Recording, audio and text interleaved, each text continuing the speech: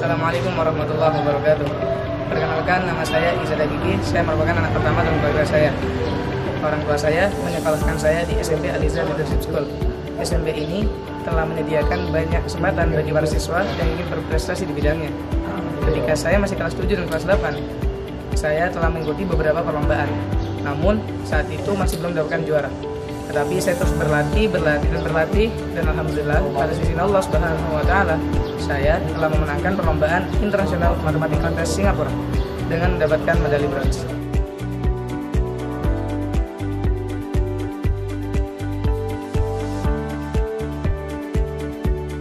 Pesan yang bisa saya berikan kepada teman-teman saya adalah tetap semangat dalam belajar.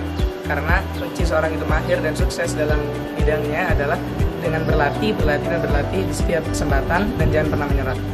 Sekian, wassalamualaikum warahmatullahi wabarakatuh.